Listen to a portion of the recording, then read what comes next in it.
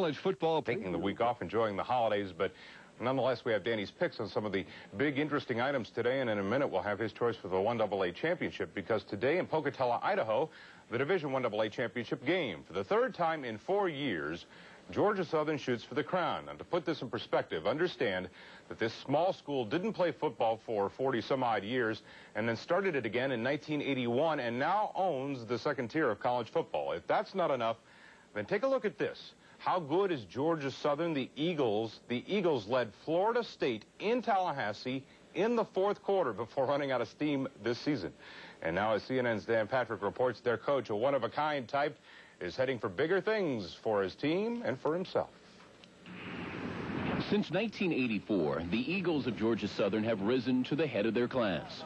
A major reason why is head coach Erskine Erk Russell. You may not know the name, but you may recognize the profile. Well, it used to be Mr. Clean um, when Mr. Clean first came out. Um,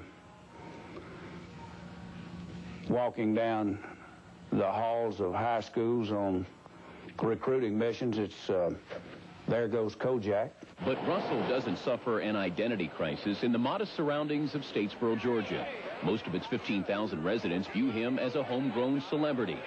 Since Russell arrived here in 1981, he's raised the Eagles from infancy to become the bully on the block. We started, we didn't have these practice fields, we didn't have a football, we didn't have anything.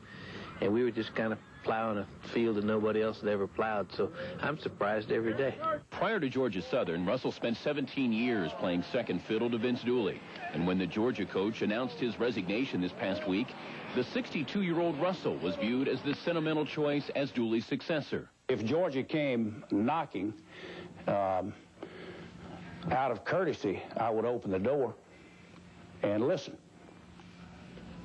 Is it a dream to go back there after spending so many years there? No.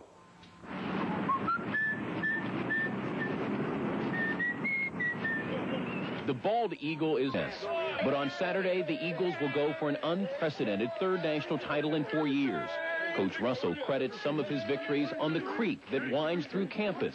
He will often take a jug of its water and sprinkle it on the opposing team's field just to make his team feel at home. This is beautiful Eagle Creek.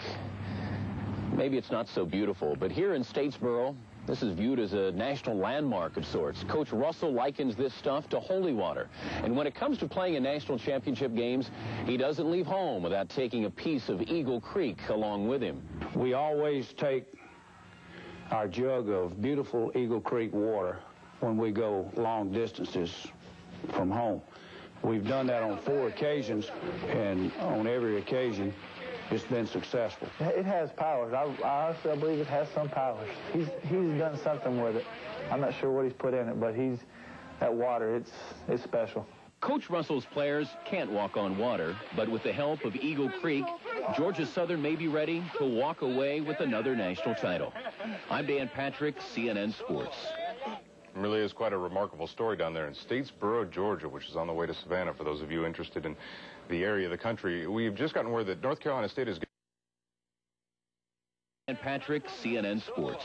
It really is quite a remarkable story down there in Statesboro, Georgia, which is on the way to Savannah for those of you interested in the area of the country. We've just gotten word that North Carolina State is...